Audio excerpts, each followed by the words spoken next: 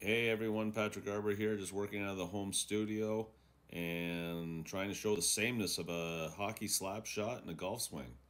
And you'll notice right here in the freeze frame, bang there, look how the hands are not being crossed by the club or the stick. If we follow an idea, this is a golf ball and you know, here's this and because my hands are together, I'm able to keep my feet parallel to my target line, give or take, right? So I get set behind the ball. And as I get set, what I'm trying to accomplish here, I want to be a little bit closer. My habit is to get farther away. So I want to get closer. And as I swing this back, I want to get that club back nice and well, nice and wide. And as I come forward, I want to turn and I want to keep turning to get that club to come through. And look how my golf club comes down that line longer, right? My hands aren't trying to flip over because that would be too timing. So I'm trying to create leverage, right? My feet are on the ground, so you can see the kind of the foot action. Hold the finish, nice and balanced. Now, if I take this again, and I would go like this, and I would separate my hands, and I would try to swing the golf club, and I'd kind of get stuck here a little bit and have to go this way. So if I was shooting a puck, I'd probably open up a little bit, right? See my target a little bit better. My hands are hanging underneath the shoulders. And as I would swing back, I would swing across my shoulder line. And again, as I move forward, I would allow everything to come down through into a nice full finish. As opposed to coming down and turning that blade over where this all falls forward.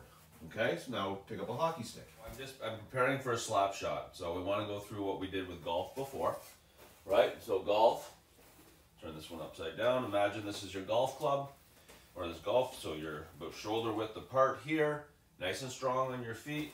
Move that up this way. Nice and strong on your feet. You're looking at your target. And as you go forward, we're trying to make sure that that golf club is staying down the line. We're trying to avoid that action of flipping the golf club, which I see a lot when kids shoot, is you have one force coming back into the body while another force is going forward, right? So let's try it this way. So I've got my bar there, bar there, and I've got my stick path, right? So I've got a little bit of room in there to make it work.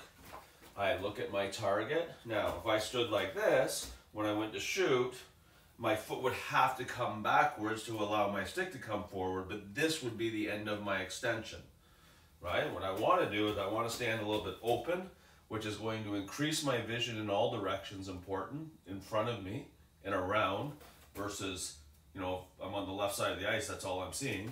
So we're coming here, we're looking at our target, and then as you swing back, the stick swings along your shoulder line, and then look how it adjusts. So the butt end's coming this way. If I want to shoot to the left, I'd come over this way.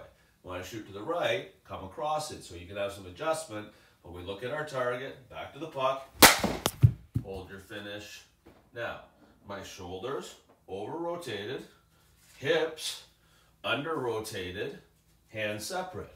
So as my hands are separate, I push them together.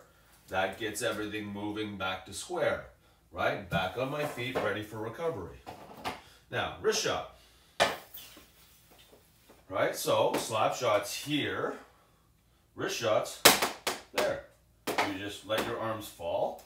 Again, your weight a little bit more on the right side. You're a little bit open, pushing the toe down into the ice, and then following through. Same rotation, coming through, right? So slap shot would fall back here, wrist shot starts here, coming through. That leaves us with one shot. That would be the snapshot. Keep it simple. You want to shoot it high, have the puck forward. You want to shoot it low, have the puck back. So we'll just put it, you know what, we'll put it low. I'm going to come here. So my stick starts back here. All I'm doing is dropping it. You see how there's my wrist shot, right? There's my slap shot. My snapshot's a little bit closer. And then we just keep that toe into the ice and then drive it forward. Same finish, rebound ready, play. A lot of things tonight. Let's break it down into fundamentals. Have a good grip, have a strong stance. I put a little bit more weight onto this side because this side has a little bit more stick. It also allows me to create more leverage in here so that I can create power. A lot of players try and go too quick from the top down and you see how that reverses the body. The same thing obviously applies in golf.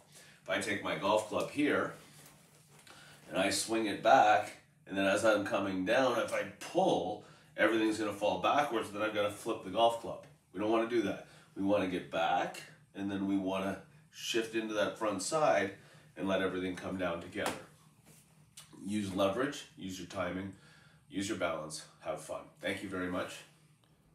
Looking forward to seeing you again soon. Take care.